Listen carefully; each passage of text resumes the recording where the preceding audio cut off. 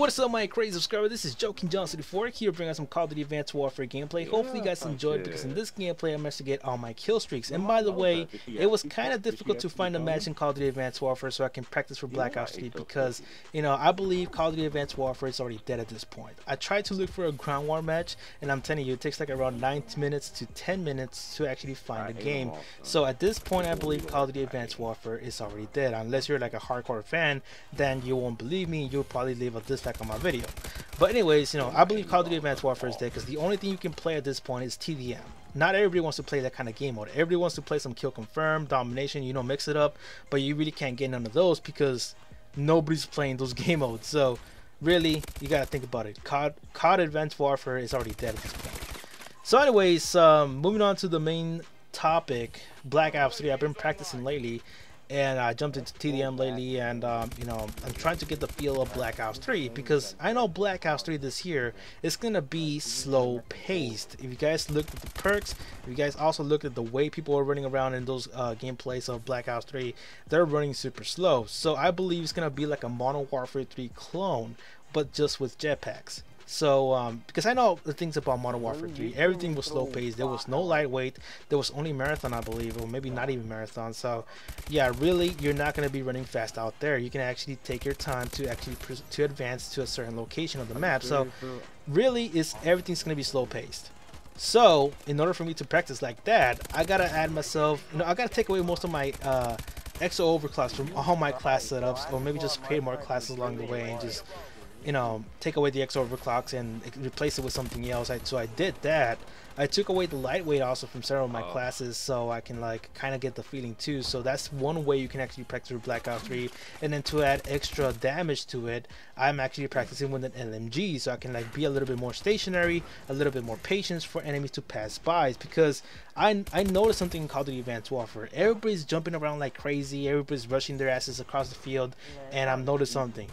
I can just stay stationary or just like proceed slowly and I'm still gonna get all them kills. And you can pretty much see that from this gameplay. I'm pretty much kind of patient with my shots. So um this is the, like the best way to practice for Black Ops 3 but another thing that I noticed for Black Ops 3 is that most of the maps are small corridors. They have like buildings all over the place. You can actually um, maybe like every single part of the map is like 10 feet in like in in pathways that's how you know narrow they are. So they they don't really have big hallways. You can pretty much have yourself face an enemy like 1v1 like more than half of the time. So I don't know. I really need a stage with a lot of complicated paths so I can like kind of practice that way. So I can like uh, also practice with some of my SMGs without the extra overclocks and the lightweight, you know, attachments. So um, yeah, that that is the best way to practice for Black Ops 3.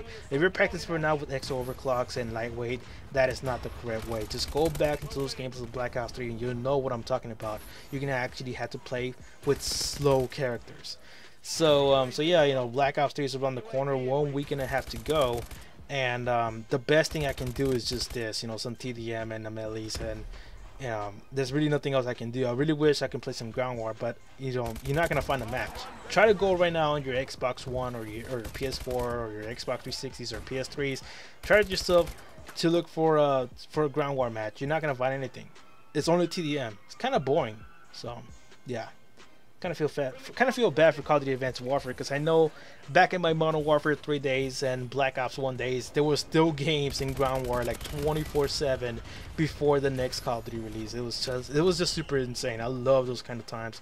That's why I miss like most of my times back then because you know it was all year round and everybody was super competitive until the next game. It was it was a total tradition back in the day. I miss my old school days. And I'm pretty sure most of you guys started off in Black Ops 2 and were super excited for that game. So I kind of feel bad for you guys. I really wish that most of you guys would have started off in Modern Warfare 3 so you guys can know the feeling of the real tradition of, you know, Call of Duty. So anyways, um, yeah, hopefully you guys understood what I said. You know, Black Ops 3, the only best way to practice for that game. And for the beta, is to actually have slow classes that allows you to advance slowly and strategically around the maps. And also you must practice in tight corridors. I know in this map they have open spots like all over the goddamn map. So this is like the bad way to actually practice. So i'm gonna try to get uh, in some you know some complicated pathways maps so i can like have the full feel of black ops 3 so that is it. Leave a like. If you guys want to more want to hear more uh, details about black ops 3 let me know in the comment section and also subscribe for more Muito bom.